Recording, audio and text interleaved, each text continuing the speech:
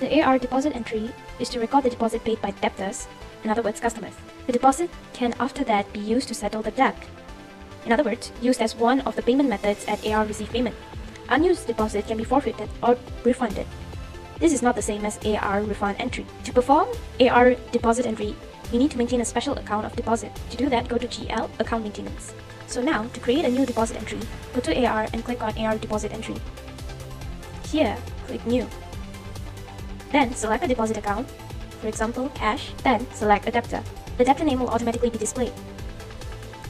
Attention would be the name of the person you wish to address.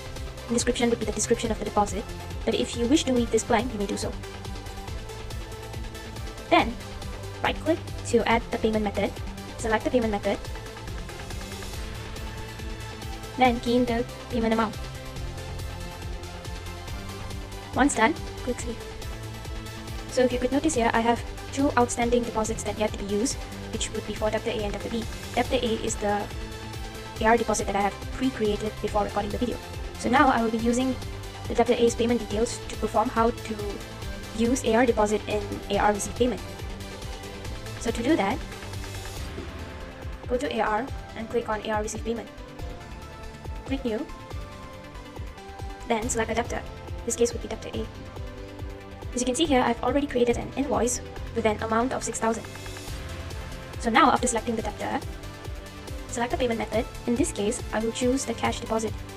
And here, if you can see, debtor A has already deposited an amount of 2000 So select this amount and click OK. You can key in the balance payment in the same document or create another document. I will create another payment method under the same document and key in the remaining amount, which would be 3000 So once that's done, check the checkbox next to the knock-off date to knock off the deposit payment. Lastly, click Save. Now using Debtor B's transaction details, I will show you how to forfeit or refund the deposit. So to do that, go to AR and click on AR Deposit Entry.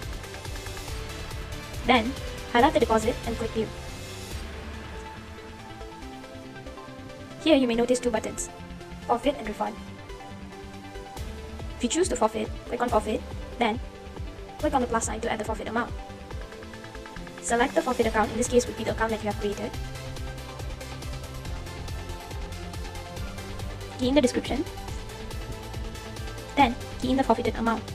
For example, 2500 So once done, click save. In this prompt message, click yes.